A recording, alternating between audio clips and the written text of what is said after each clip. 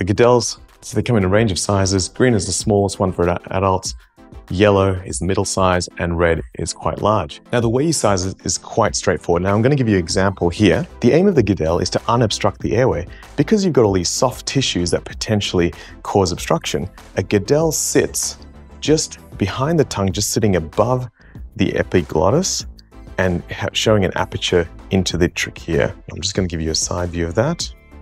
So now, this makes a lot more sense now when I tell you about the sizing for this. So when I'm sizing a Guedel, all I do then is look for where it's going to sit in the mouth and where the back of the tongue is, which is really the angle of the jaw.